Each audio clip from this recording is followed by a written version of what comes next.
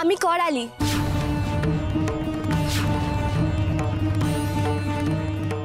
মা কালীর অন্য নাম করালি। জানিস তো? গুরুদেব যে কালী মায়ের নানা রূপের কথা বলেছিল এ তো ঠিক তাদের মতোই একজন।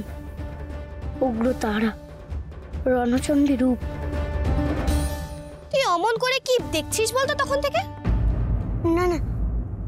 মানে তুমি তো আমার অন্য দিদির মতো তবে একটু রাগী। আমি তোমাকে দিদি বললে তুমি কি রাগ করবে? তাহলে আজ থেকে তুই আমার ভাই হলি। সে তো হলাম গো দিদি। এইটা না এখন যে আমায় যেতে হবে মায়ের পুজোর ফুল যে আমায় খুঁজতে হবে গো? না ভাই তুই একা যাবি না। কেন গো? এই জঙ্গলে বাঘ আছে না সাপ? আর তাছাড়া আমি ওদের ভয় করি না। ওরা আমার কিচ্ছু করবে না। এই জঙ্গলে বাঘ সিংহ থেকেও ভয়ানক হলো ডাকাত। একটু আগে দেখলি না? ওদের হাতে পড়লে কোনো রকম মায়া দয়া দেখাবে না। গোটা জঙ্গলে ওরা ছড়িয়ে রয়েছে। তাহলে তুমি যে একা একা ঘুরছো তুমি ডাকাতদের ভয় পাও না? করালির ক্ষতি ডাকাতরা করবে না। কিন্তু তার কারণটা তো লোকনাথকে বলতেও পারব না। এই ছোট্ট ভাইটা? ডাকাতের হাতে পড়লে ওর জীবন বিপন্ন হবে। দিদি হয়ে ছোট ভাইয়ের ক্ষতি আমি কি করে হতে দিই? না আমার ওকে বাঁচাতে হবে। রাত হোক অন্ধকারে ওকে আমি লুকিয়ে পৌঁছে দেবো। কি হলো দিদি? চুপ করে আছো কেন? আমি তীর ধনুক চালাতে জানি তাই ওরা আমার কাছে ঘেসবে না। কিন্তু তোর বিপদ হতে পারে। ওরা ফিরে আসার আগেই তাই আমার সাথে পালাতে হবে তোকে। আমাকে যে মন্দিরে ফিরতে হবে। সে আমি তোকে সময় মতো মন্দিরে পৌঁছে দেবো। কোথায় পালাবো? চুপ। আর এত কথা বলিস না। এই দিদির কথা অমান্য করলে কিন্তু খুব রাগ করব। আয় আমার সঙ্গে। জঙ্গল তোলপাড় করে খুঁজেছি কর্তামা। করালি দিদিকে কোথাও দেখতে পাইনি। দয়া করে সর্দারকে বোঝাবেন মা মেয়ে বড় দুরান্ত। কোন ফাঁকে যে বেরিয়ে গেছে টের পাইনি। ঠিক আছে। তোর এখন যা।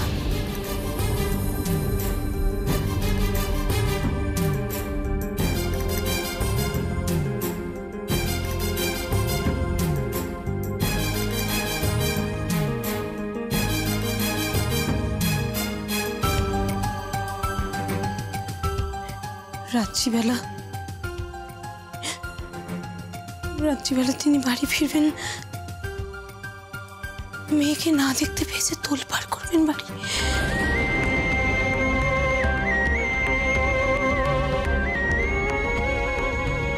গর্দান নিয়ে নেবেন এদের।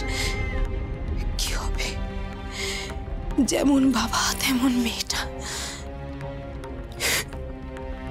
ঠাকুর, কি করি বলো তো আমি? কি করি বলো তো আমি, ঠাকুর?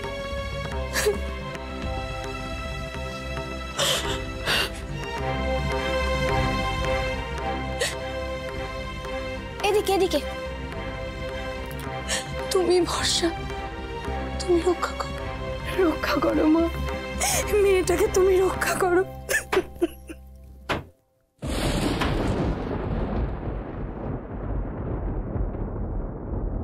করালি এসেছে। করালি মাগো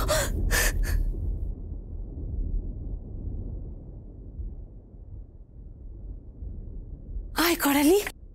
তাড়াতাড়ি দরজাটা বন্ধ করো।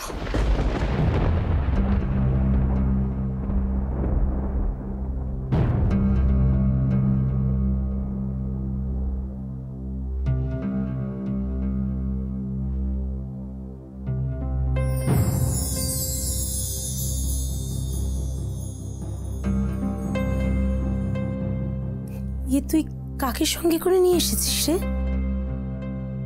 আমার ভাইকে। ওরে বাবা এ তো একটা ছোটখাটো সন্ন্যাসী। এমন ভাই তুই কোথায় পেলি হ্যাঁ? কি মিষ্টি মুখখানা। তোমাকে তো আমার মায়ের মতো লাগছে গো। দেখো না আমাদের জঙ্গলে মরতে ফুল তুলতে এসেছিল। ফুল না হলে নাকি পুজো হবে না। এই জঙ্গলের রকম সকম তো আর কিছু জানে না। ব্যাস ধপ করে পড়েছে পাতা ফাতে ওরে বাবা তারপর? তারপর আর কি উঠতে পারেনি। ভাগ্যে আমি গিয়ে পড়েছিলাম। নইলে যে কি হতো? থাক থাক আর বলতে হবে না আমি বুঝতে পেরেছি। আরে মুখখানা কেমন শুকিয়ে গেছে দেখ। দেখে মনে হচ্ছে বড্ড খিদে পেয়েছে। কি খাবি রে ছেলে হুম? না গো আমার যে পুজো হয়নি। না পুজো করে খায় কি করে? উমা কার পুজো দিতে এসেছিস তুই এখানে? আর একা একা কেন বাবা? সঙ্গে কেউ নেই? হ্যাঁ আছে তো। গুরুদেব আছে আমার বন্ধু বেনি আছে। আমরা গুরুদেবের সঙ্গে সন্ন্যাসী হতে পথে নেমেছি যে। এতটুকু ছেলে এতটুকু ছেলে তুই সন্ন্যাসী হবি? তা যাচ্ছিলিস কোথায় বাবা? যাব সেই কালীঘাট। মাঝে আমার জন্য অপেক্ষা করে বসে আছি। তবে আমি ঠিক করেছি, যাওয়ার পথে যেখানে যেখানে মায়ের মূর্তি দেখতে পাবো, পুজো করে যাব। এই জঙ্গলে তো একটা মন্দির আছে, সেখানে আমার বন্ধু বেনি আর গুরুদেব অপেক্ষা করছে। আমি ফুল নিয়ে গেলে তবে মা কালীর মূর্তির পুজো হবে। আমার যে তাড়াতাড়ি সেখানে পৌঁছতে হবে। না হলে যে পুজোর দেরি হয়ে যাবে। দেখো না মা ওকে যেতে মানা করো নইলে যে লোকনাথ তুই এক্ষুনি পালঙ্কের তলায় লুকিয়ে পড়। চুপ করে থাকবি। একটাও কথা বলবি না। কথা বলবি না।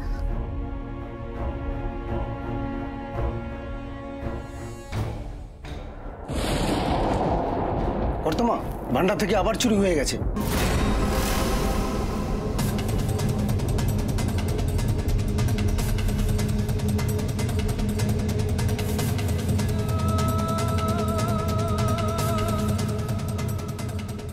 এসব?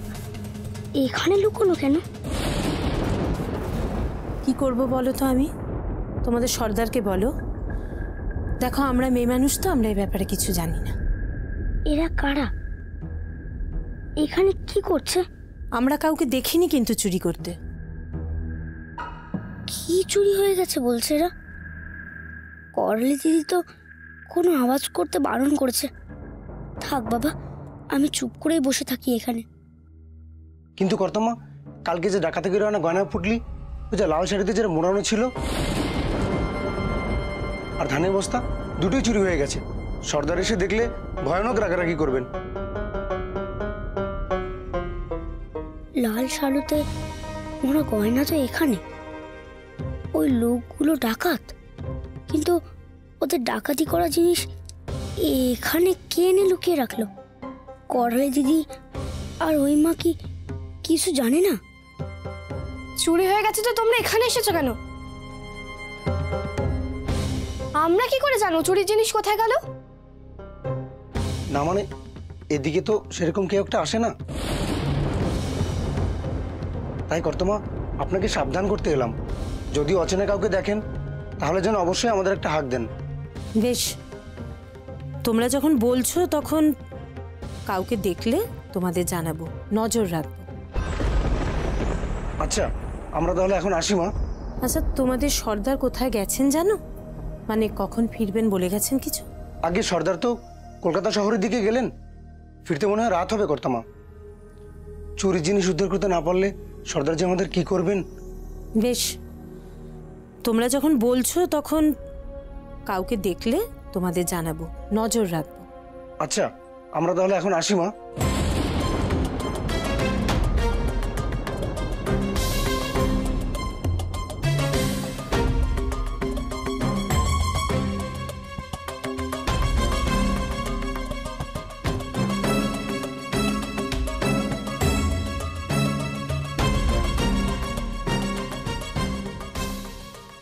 করালি তোর বাবা ডাকাতি করে ফেরার আগে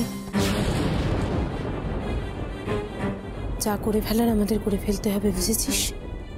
হ্যাঁ মা, আর বেশি সময় নেই। তোমরা ডাকাত।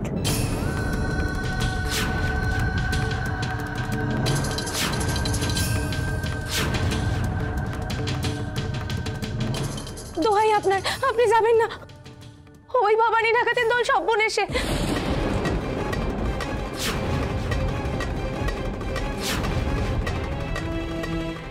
ভবানী ডাকাত রোজ আমাদের প্রজাদের ওপর লুটপাট চালাচ্ছে আর তুমি কি বলতে চাইছো? আমি বাড়িতে চুপচাপ বসে থাকব? আপনি আপনার লেঠেলদের পাঠান না। ওরা নিশ্চয়ই পারবে আপনার প্রজাদেরকে রক্ষা করতে। আজ বাড়িতে শিবের পুজো। আপনি পুজো না করে গেলে যদি কোনো অঘটন ঘটে? তুমি ভুলে যাচ্ছ হেম। আমি এই এলাকার জমিদার। প্রজাদের রক্ষা করা আমার দায়িত্ব কর্তব্য। ভবানী ডাকাত আমাদের প্রজাদের উপর রোজ লুটপাট, যা ইচ্ছা তাই করছে। কেউ যদি প্রতিবাদ করতে যায়, তার ধর্মুণ্ড একেবারে আলাদা করে দিচ্ছে। আমার জমিদারিতে এইসব চলতে পারে না।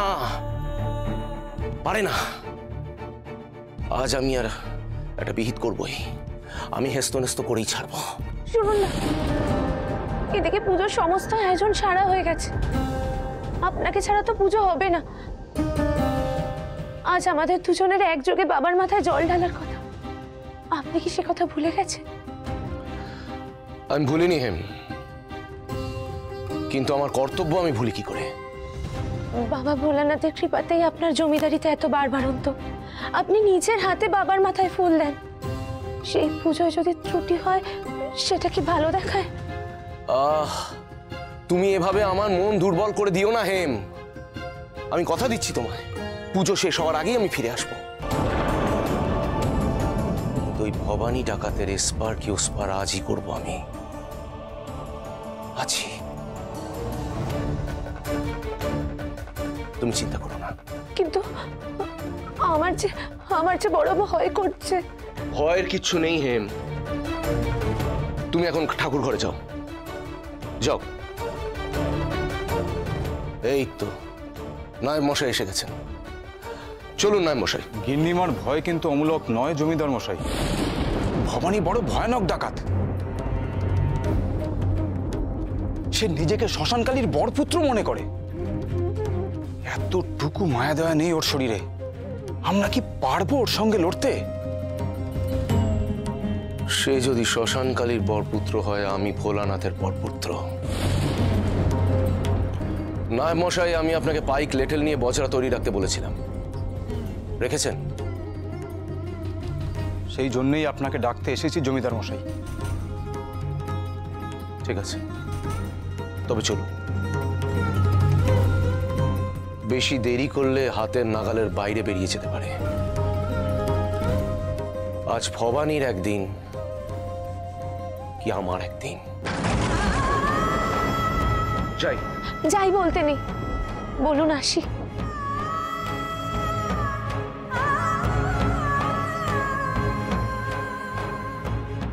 চলুন না মশাই হ্যাঁ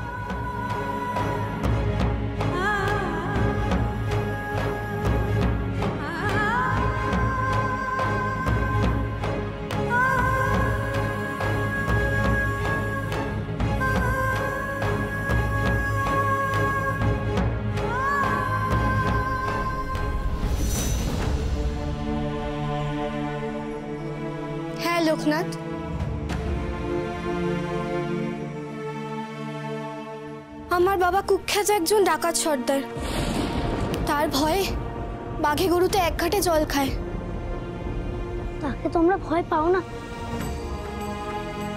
তার ডাকাতি করা জিনিস তোমরা খাটের তলে লুকিয়ে রেখেছো কেন? আর এই ডাকাতদেরও তো তোমরা মিথ্যে কথা বললে। কেন বললে? বলো আমি বলো। বাবা।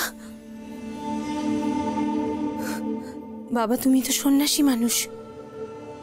হয়তো অনেক পুঁথি পড়েছ, রামায়ণে পড়েছ। তুমি কি জানো যে বাল্মীকি মুনি তিনিও একসময় ডাকাত ছিলেন? ডাকাতি করে তিনি সংসার চালাতেন।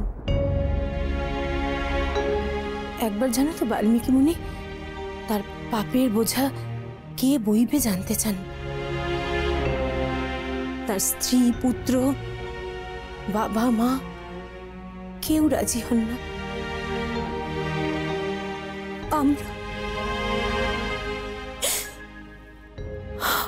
আমরা বাবা। একদম চাই না গো। অন্যের সর্বনাশ করা পয়সায় তিনি আমাদের খেতে পড়তে দিন। আমরা একেবারে চাই না। কিন্তু কি করব বলো? কিন্তু লোকনাথ, বাবা যে আমাদের কথা শোনেন না। কানেই তোলেন না আমাদের কথা, একেবারে না। আসলে তিনি তো তিনি তো শ্মশানকালীর উপাসক আর আমরা আমরা মা ভুবনেশ্বরীর। মা কালীরও যে কল্যাণময়ী রূপ হয়, এ কথা তিনি বিশ্বাসই করেন না জানেন। তিনি যে বড্ড রক্ত ভালোবাসেন।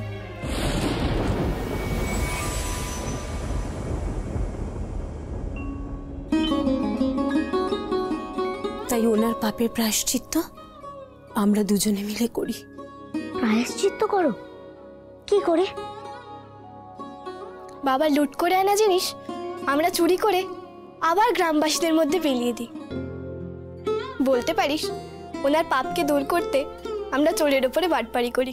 তাহলে এই জিনিসগুলো তোমরা ফিরিয়ে দেবে? হুম। তুমি শুনলে না যে ওনার ফিরতে অনেক রাত হবে? আসলে উনি তো কলকাতা গেছেন ডাকাতি করতে। তাই উনি ফেরার আগে আমরা দুজনে ওই গরিব গ্রামবাসীদের চুরি যাওয়া সমস্ত জিনিস ধান গয়নাগাটি ওদেরকে ফিরিয়ে দিয়ে আসব। আর তোকেও তোর গুরুদেবের কাছে ছেড়ে আসব। আর তার আগে যদি কোনোভাবে ডাকাত সর্দার ফিরে আসে, তাহলে আসবে না। বাবা ডাকাতি না করে কোনোদিনও ফেরেন না।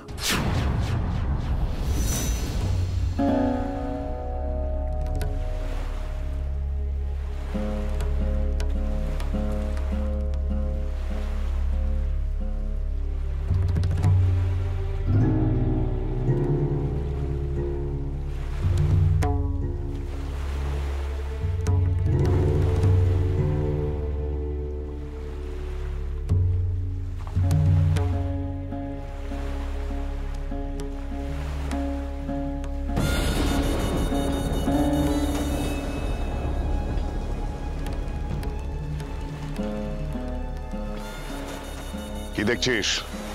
সর্দার জমিদারের বজরার আলো দেখতে পাচ্ছি। মনে হয় উনি বজরা নিয়ে আপনাকে ধরতে আসছে। আমাকে ধরবে? এত বড় হিম্মত? ওই জমিদার মশাই বড় শিব ভক্ত বলে আপনাকে পরোয়া করে না সর্দার? আমি মা শ্মশানকালীর সেবক। আমাকে ধরার মতো বুকের পাটা কারু নেই।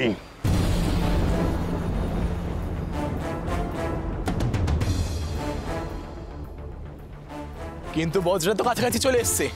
কি করব এখন? ধনুক নিয়ে তৈরি থাক। আমি ইশারা করলে আর এক মুহূর্ত দেরি করবি না।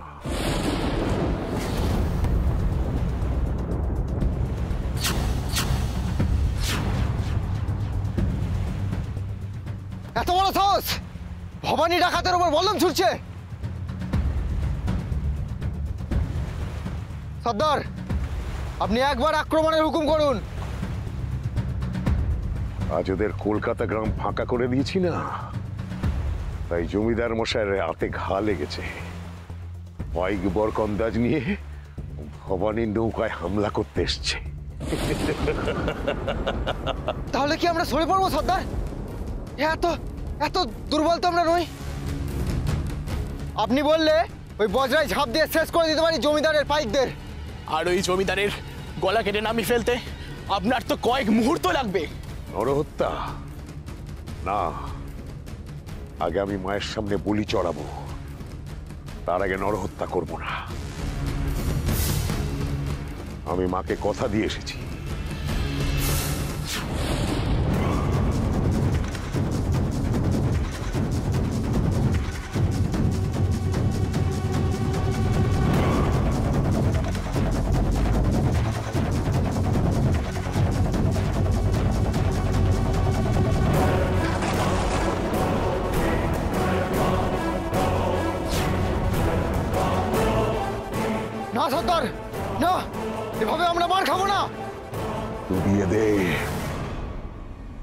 বজরা দেখব তোদের তীরের কত ক্ষমতা।